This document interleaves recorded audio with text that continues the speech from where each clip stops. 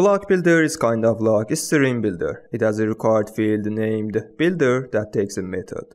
That method's parameter are context and state which is the current state of our bloc class. There is another field which is optional called build when.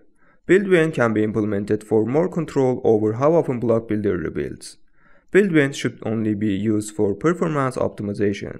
It will be invoked on each bloc state change and it takes the previous state and current state and must return a bool which determines whether or not the build function will be invoked.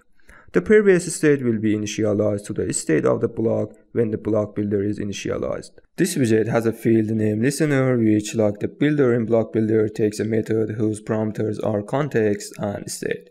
The return value of the method we enter here is void for the listener unlike the builder which was a widget. So we don't need to return a widget in the listener.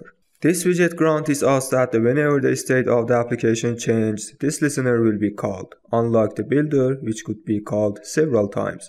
So we can do things like navigation or displaying message or snack bar or changing data values in this listener.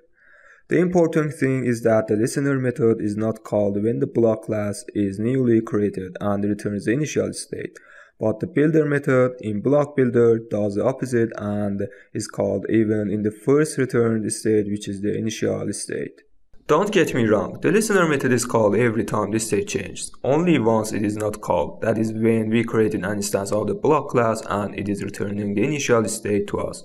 Only this time it is not called. There is another field called listen when, which is exactly like build when, and you can set a series of conditions to say when the listener will be called and when not. We have another widget called multi-bloc listener. With this widget, you can listen to several blocs at the same time.